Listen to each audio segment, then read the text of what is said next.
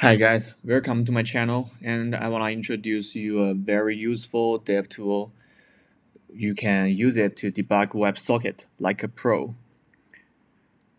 So this is how it looks like on your dev panel. And let's see what it can do. It can proxy WebSocket, simulate message, and block the send and receive message.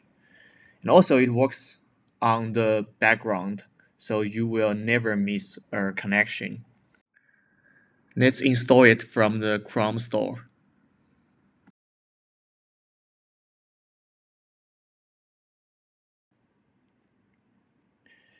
And make sure you enable this extension. Okay, let's go to the WebSocket King, a very useful website you can debug on this website. And we are going to use it to do this demo. Let me open our dev panel like this. Go to the WebSocket dev tool. Yeah, you can see here is the connection we created just now. And when you send hi, you will receive hi. That is how the Echo WebSocket works.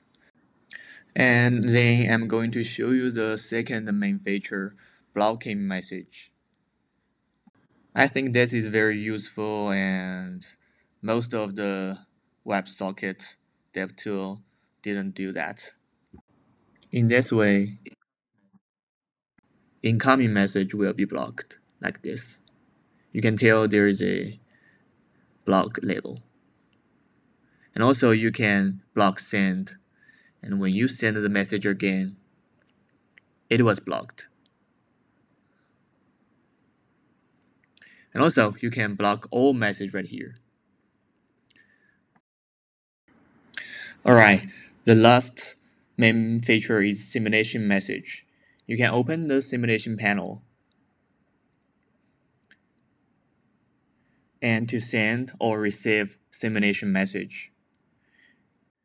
And I think that is very straightforward and very easy to use by clicking the button.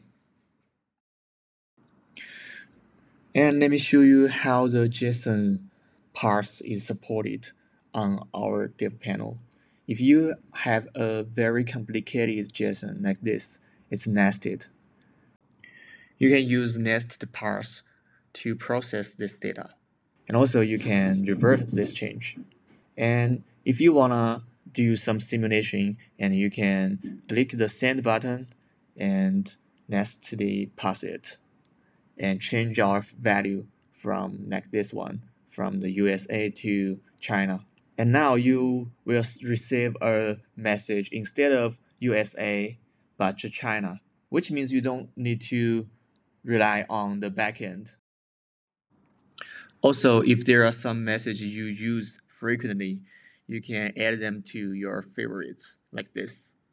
Name it and save it. So you can reuse them again in a very quick way. Receive it and send it. The system event is also supported. You can simulate client close or server close and or any kind of error here. And let's create a connection. And you want to close it quickly you can click this button. And we are going to close it. Finally if you want to create a connection in our dev tool we can also do that. Yeah it really looks like a WebSocket client. So you can create a connection debug it simulate it and do anything in our WebSocket dev tool panel yeah, that's it. That's an introduction of the WebSocket dev tools. If you are interested in, welcome to our GitHub to explore more. Thank you.